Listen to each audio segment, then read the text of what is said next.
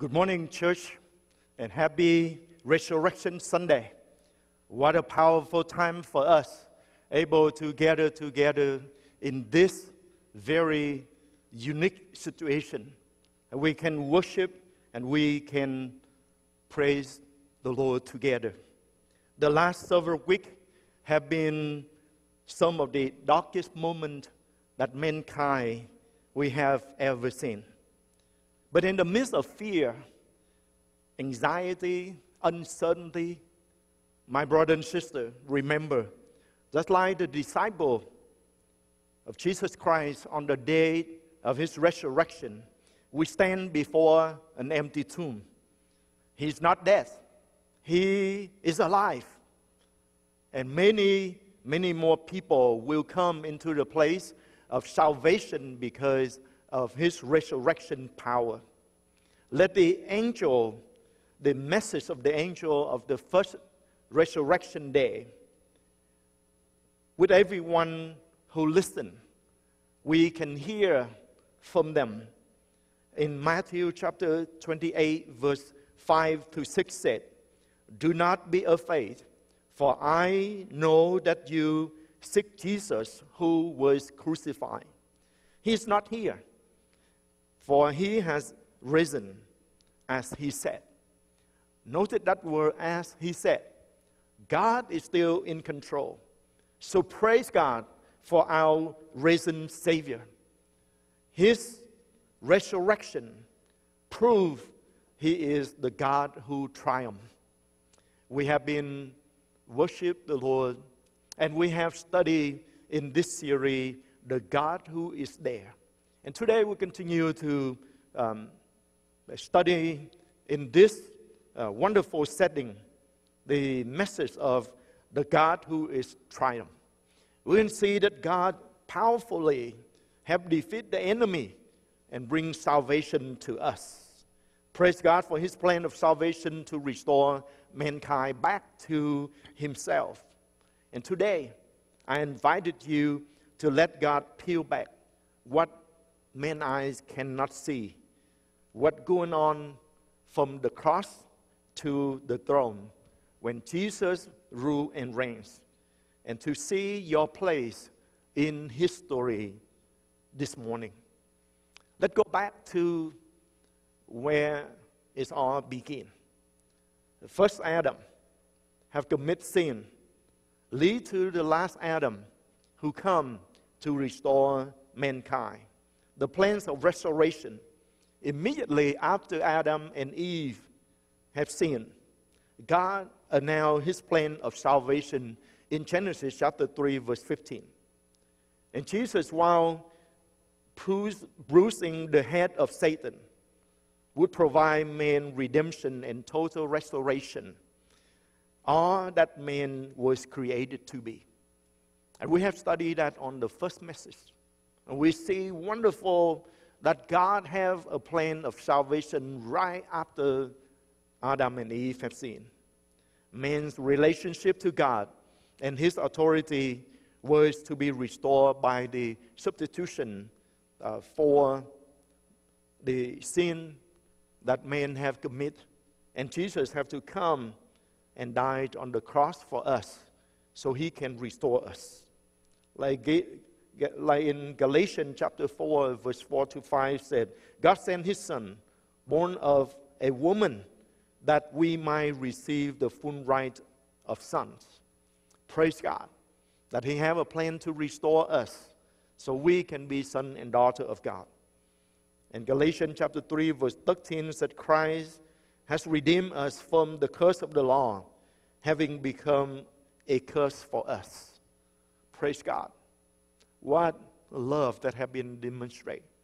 That when Jesus was crucified on the cross, he became a curse for us. So we now can be passed over. We're no longer under any curse, but we enter into the place that we can receive the blessing that God had pronounced over Abraham and his descendant. And now we, as son and daughter, uh, children of Israel spiritually, we can enter in and receive that blessing too. Jesus come to redeem us from sin. And we praise Him for what He had paid for on the cross for us. He had paid dearly so we can be restored. And now we can see that we can become God's children by redemption. What a blessing. That we once walked away from God, sinned against God, but now He restored us. And through Christ, we can become God's children. Adam had brought sin into this world. Romans chapter 5, verse 12 said, Therefore, just as sin entered the world through one man, and death through sin. But Jesus came, and he brought with him righteousness. Romans chapter 5, verse 19, through the obedience of one man, that the man will be made righteous. Praise God. Because what Jesus Christ did, we now can be restored. We, through the obedience that He have received the cross and walked the cross for us, that now we can be restored and we will be made righteous. Praise God. Jesus also bring the good news, the great joys of salvation. In Luke chapter 2, verse uh, 10 to 12, the angel come and, and, and, and announce a wonderful thing when Jesus come to this earth, um, born into the manger. He say, I bring you good news of great joys. A Savior have been born. Praise God. What a powerful act of love that God have demonstrated for us. He also bring peace to man in God's favor. And when we are restored to God, we reconcile with God, then we will receive the peace that God have always wanted us to have. What a powerful thing that Jesus did for us. When man is properly ordered in the right relationship with God, his governance bring peace, and we can live in a kind of peace that the world cannot understand. We praise God for that. Now let's look at how this is important for us that we can see ourselves. You can see ourselves in God's story. Let's look at Jesus as he ministered with authority. When Jesus operated on earth, he operated as a man. In order for Jesus to restore us into this relationship and restore us the authority that God gave to us, back in Genesis 1:26. Jesus had to come and prepare a body. And he walked this earth, ministered with authority as a man. And he become a phototype for us that we can see ourselves in him. That Jesus as a man, he has purposely emptied himself of the right of God. He suffered temptation as a man he overcomes Satan as a man. And if this authority was the authority that God at creation have given to mankind, then we can also walk in this same authority as redeemed men and women of God. And that is your place in the story of God. God wants you to know that He have restored you in Christ so you can walk in the same authority that God had pronounced when He created mankind in Genesis chapter 1. Jesus also wants us to remember that God planned for all believers as new creation in Jesus. We can become true men and women that we were created to be in God's plan. And it's very important for us. I know the world is go crazy with this COVID 19, but God's still in control. Things can be canceled in our life in this day, but the plan of God can never be canceled. There's hope in Christ. There is power in God because He is a triumphant God. And He wants us to know that the authority that He gave it to us, that we can walk in that.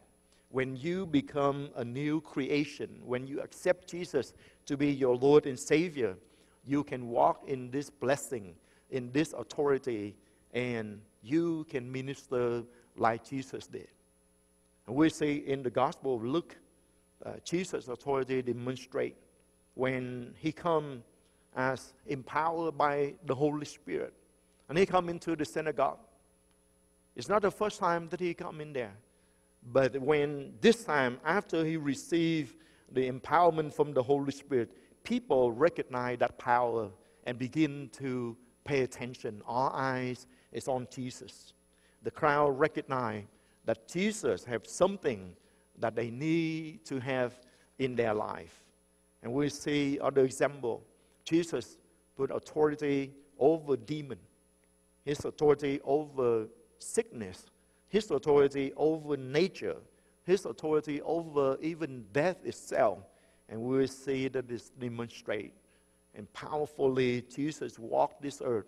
The last 33, uh, the last three years of his 33 years on earth, he walked in the power, demonstrate for us that in him, in him, and the same resurrection power that have resurrected him from the dead is work in us. We can walk in that level of authority and we can minister to people. We can demonstrate the kingdom of God where we at. Jesus is our example. Jesus is our example of how we should walk in authority. Jesus have demonstrated that as a man, he emptied himself of God's nature and took on the nature of man, walked in obedience, received the fullness of the Holy Spirit, empowered by the Holy Spirit, that he can walk this earth, minister to people, helping people, preach the gospel of the kingdom. And that's the same uh, way that Jesus wants us to walk. He wants us as men be restored, be justified, be declared righteous. We can receive the fullness of the Holy Spirit, empowered by the Holy Spirit, that we can walk and minister in power. When we can walk and minister in the level of authority that God has delegated for us. Just imagine the enemy, Satan, watching Jesus in a man body. Minister like that, demonstrate the authority and the power of God like that. That's why Satan hated.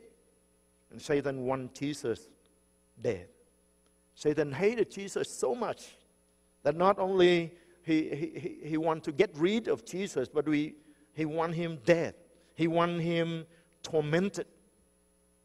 All of Satan, principality, power, ruler of darkness, and wicked spirit, they came to rejoice the time that Jesus was crucified on the cross.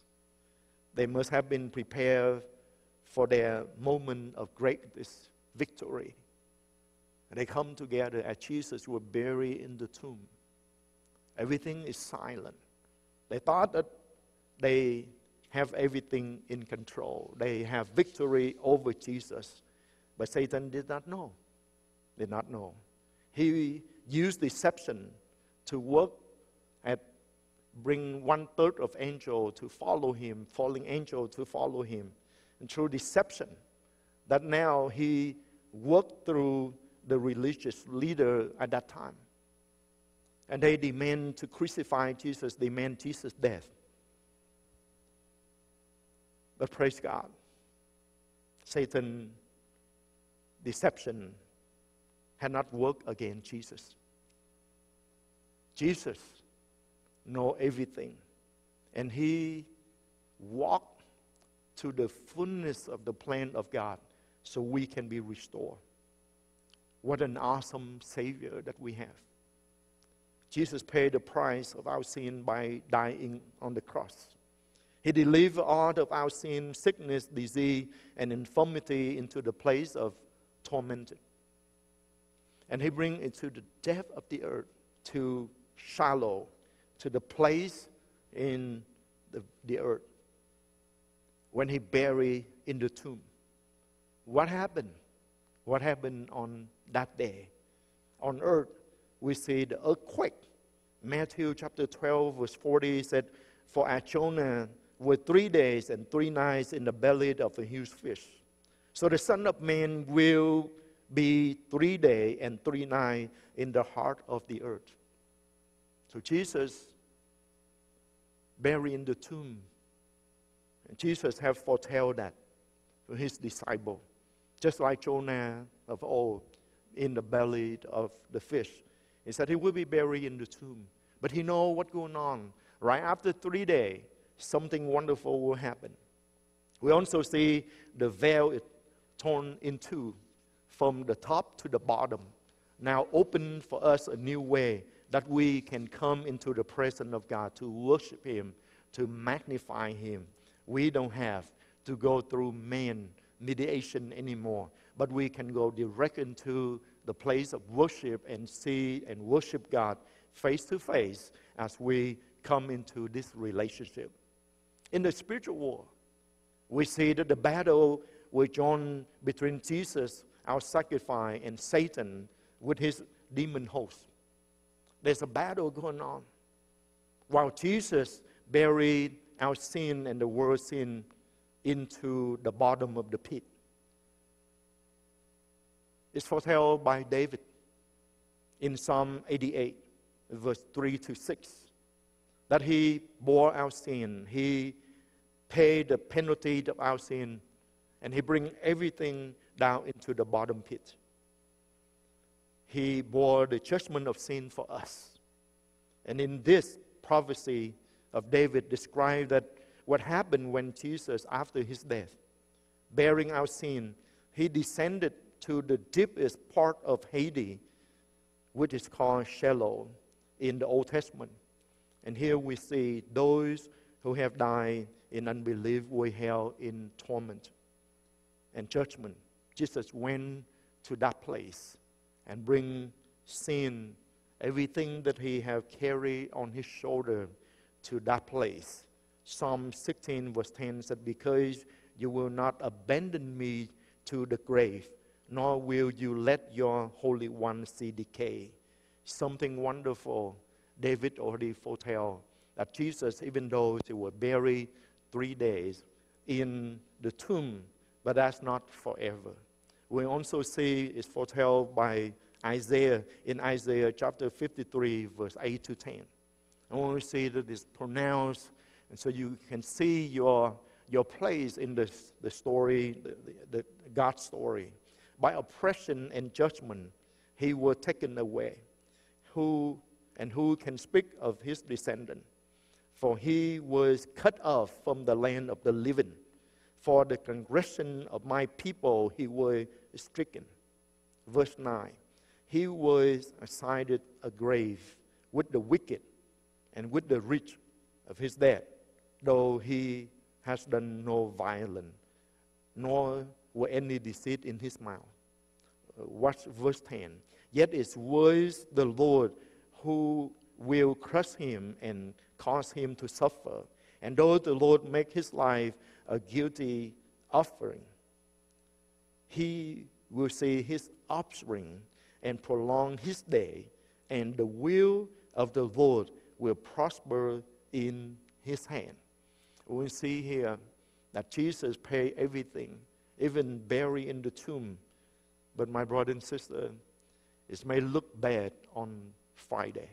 It may look bad on the Passover day. But the first Sunday come.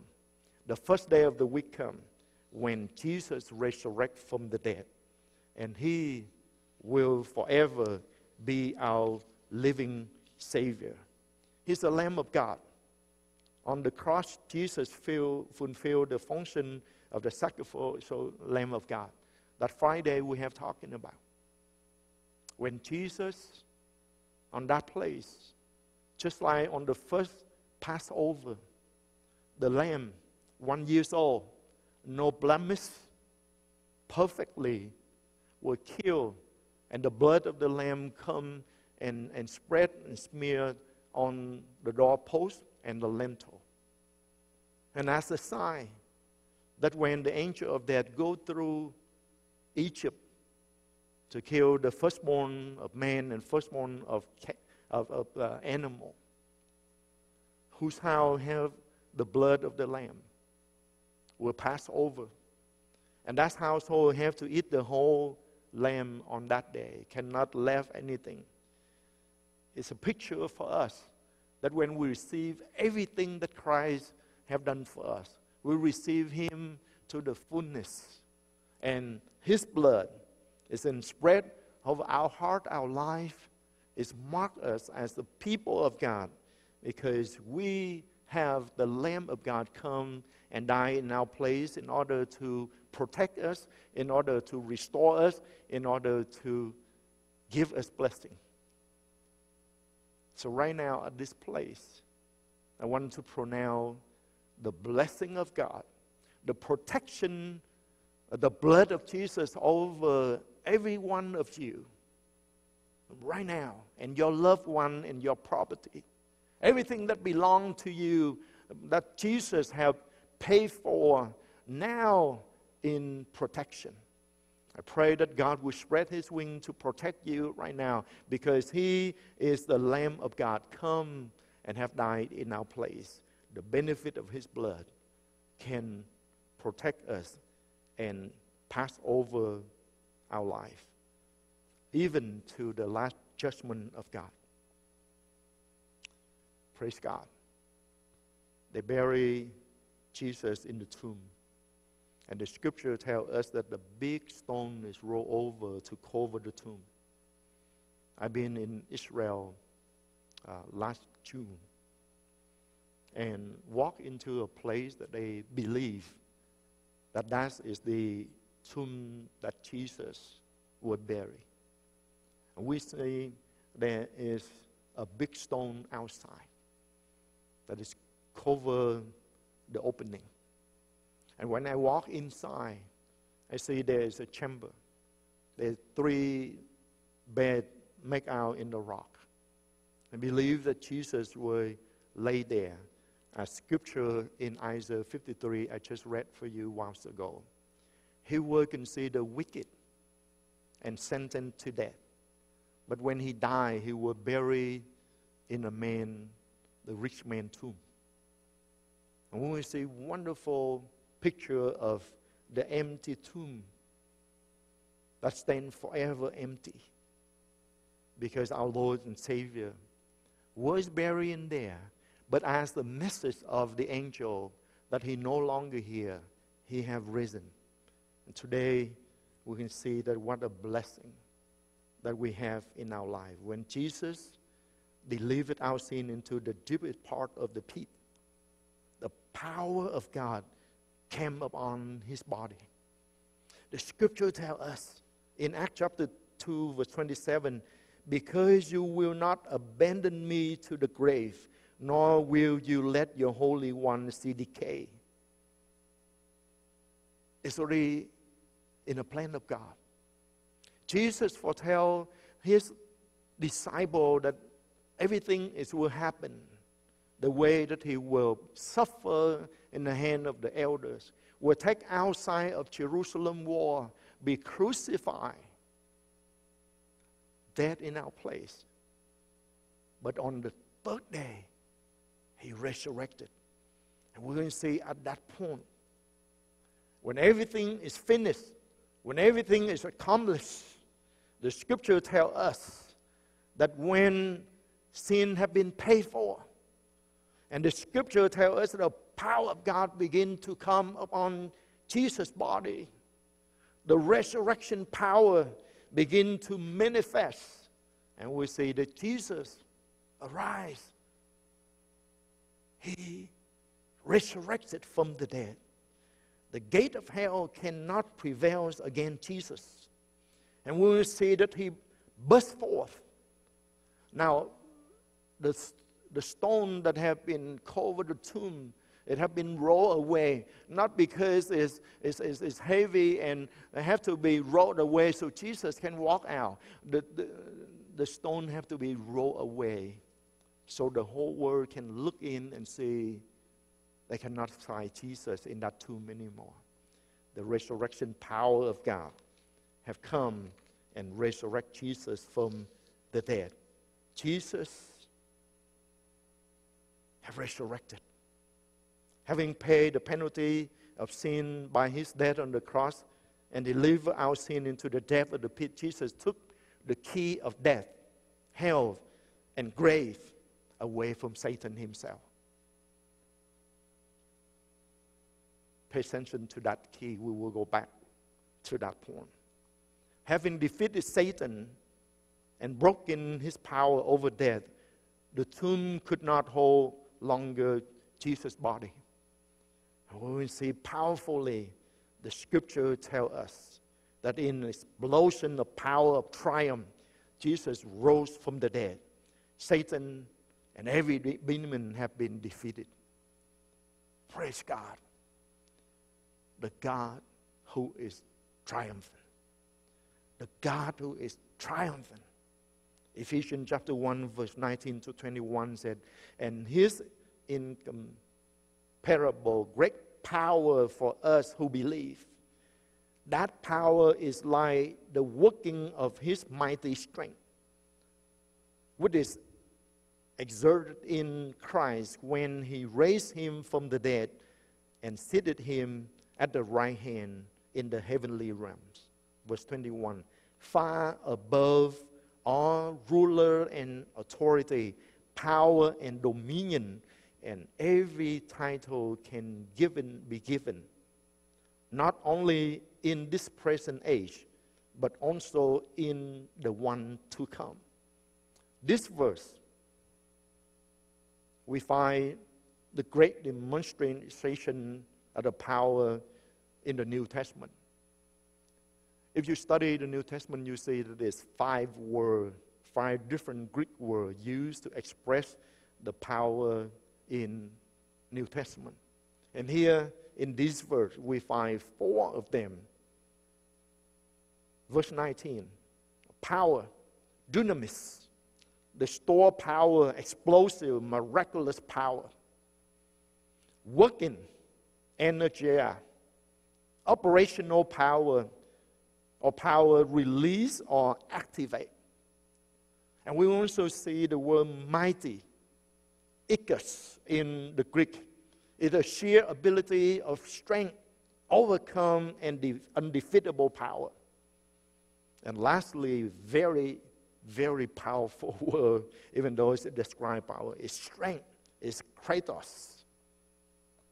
It's a ruling power manifested or delegate the greatest demonstration of power is found when God raised Jesus from the dead. When I studied this, it shook me to the core. You remember in the beginning, when God created everything, He just spoke the word and things create. But when God raised Jesus from the dead, He used His mighty power and strength. The kratos, the ruling power manifested or delegated, the power that is so powerful that every cell that had been dead in Jesus for three days begin to bring receive life everything that holds Jesus down, that power have raised Jesus from the dead. Hear the good news. Your part in God's story is in that great power manifest in our life. Romans chapter 8, verse 11, give us this wonderful revelation that we need to understand. But if the spirit of him who raised Jesus from the dead dwell in you, he who raised Christ from the dead will also give life to your mortal body through his spirit who dwell in you. The same Holy Spirit that lives on the inside of you and me. That same power. Now I know that we need to wash our hands, we need to protect ourselves, personal uh, cleaning, when we go through this COVID 19. But we will not walk in fear. Yesterday, our president, our vice president, he said that we as Christians, we not walk in fear like people without hope. Because we have the resurrection life inside each and every one of us. And that power can raise Jesus' body after three days in the grave. That power can heal you, can heal your mortal body. It's give life to your mortal body through His Spirit who dwell in you. So do not walk in fear. Yes, we need to be considerate. We need to pay attention so we can help the elderly, the vulnerable, the one who have uh, sickness in, in their body before they are weak and their immune system is not strong enough. Yes, we need to protect them. But my brother and sister, because of the resurrection power of Christ, I declare over you now, you will not walk in fear, but you walk in the power of God, in the strength of His might. And that is who we are because of Christ's resurrection. Praise God. Jesus, after he have resurrected from the dead, he revealed himself to his disciple in 40 days, in many different occasions, proving that he alive in triumph. He led the captive, the captivity captive. Jesus triumphantly ascended far above all of Satan and his kingdom. Ephesians chapter 4, verse 8 to 10 said, This is why it said, When he ascended on high, he led captive in his train and give give to men. We, we can see in verse 9 what do he extended here. Mean, accept that he also descended to the lowest earth, earthly region. In verse 10, he who descended in the very one who have ascended high than all the heaven in order to fill the whole universe. And we see here that Jesus entered into heaven. Suddenly, there is no word to describe the joy of the heavenly hosts at the return of God's Son in his rightful place in heaven. How could man describe that victorious return of his Father in heaven? David described it in Psalm 24. Verse 7 and 10 say, Lift up your head, O you gate. Be lifted up, O ancient door, that the King of glory may come in. Who is this King of glory? The Lord strong and mighty, the Lord mighty in battle. Lift up your head, O you gate. Lift up, you ancient door, that the King of glory may come in. Verse 10 Who is he? This King of glory, the Lord Almighty. He is the King of glory. Selah. Pause for a moment to think about it. King of King, the victorious one, the triumphant God, have victory over that Hades, Satan and all of his demons. Have proclaimed victory. In Revelation chapter 1, verse 18, Jesus declared, I am the living one. I was dead, and behold, I am alive forever and ever, and I hold the key of death and Hades. Wow. Praise God. Jesus said, I am the living one. I was dead. And behold, I'm alive forever and ever. My brother and sister, the last few weeks, sometimes we feel like, God, are you still there? Are you still on your throne? look like this tiny thing, COVID 19, bring havoc into this whole world. Where are you? Are you still alive? My answer for you this morning through the light of the Word of God yes, He is. He's alive forever and ever. He is a triumphant God. You see, to save mankind, God did a huge thing. This pandemic, even though it look bad right now, that when we go through on the other side of this pandemic, we will see that God is bigger, much bigger than anything that we have witnessed the last few weeks. Nothing can thwart God's plan. He's a triumphant God. Jesus now had the key. Jesus came into heaven shouting, Satan is defeated, and I have the key. Jesus had the key of authority in his hand, which he had taken away from Satan, who had stolen them in the garden when he deceived Adam and Eve. Now, Jesus, through his death, have come and take away that key from Satan. And you know what? This is where we come in. Why are the key important? In the first revelation of the church, Jesus told his disciples that they had the key of the kingdom of heaven. Praise God. I saw somebody by revelation about to receive the key. The key of the kingdom of heaven. In Matthew chapter 16, verse 18 and 19 said, And I also say to you that you are Peter.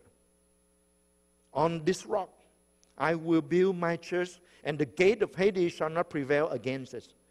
I will give you the key of the kingdom of heaven. Whatever you buy on earth will be bound in heaven, and whatever you lose on earth will be loosed in heaven. Praise God. Isaiah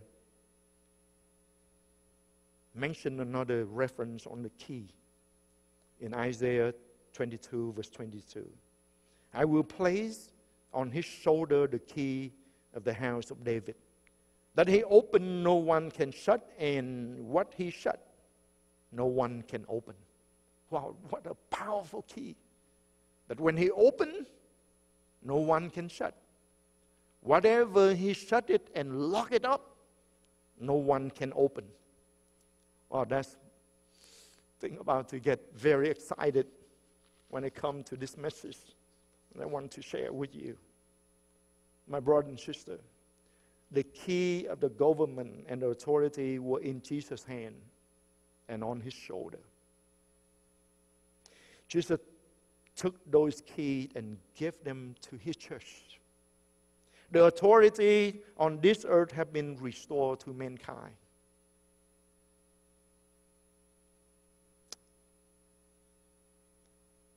Somebody shout oh, hallelujah at this place. Wow. The key, the authority on this earth have been restored to mankind. God wants us to experience Christ's resurrection power in our life. It is an available power and a necessary power in these evil days. We need to take it on that. Take authority over this COVID 19 and declare your power and your authority because Jesus have delegated that authority in your hand over sickness and disease. The key to walk in power to tie up in knowing. The revelation that come to us, not head knowledge, but, but it's tied up into this revelation that I'm sharing with you today. When I studied this many years ago, it totally changed my way as I walk as a Christian, as a minister of the gospel. Okay, I'm no longer walk in weakness, in timid, but I walk in authority and power because Jesus took back the key of death, of hell, the key of the kingdom of God, and give it to the church. And he said, as the church, whatever we buy here on earth, God will buy it in heaven. And whatever we lose here on earth, we'll lose in heaven. Wow. Did you hear that? Powerful. We need to remember that. So we have the authority that have delegated to us. I believe that there are people here this morning that need to experience Christ's resurrection power, salvation, sickness, family problem, spiritual problem, financial problem. We need to experience Christ's resurrection over those areas. Yes, COVID 19 may bring fear into many people's life. Yes, it brings hardship, financial problem. But I'm here to share with you the hope that we have in Christ. He said He will provide for us. He said that we are now son and daughter of the kingdom of God. And God the Father, the God who are triumphant, is in control. He will supply our need. So look to Him and receive from His hand. Yes, we have things that we face in our life. But I invited you to come to Christ and experience that power of resurrection. Like Romans 8 11 said, that same power. And come and minister to us. That same power that have resurrected Jesus from the dead is inside each and every one of us. And He can resurrect our mortal body. He can heal our mortal body. So I invited you this morning, if you never accept Jesus to be your Lord and Savior, to pause right now and receive that work of salvation. That Jesus had paid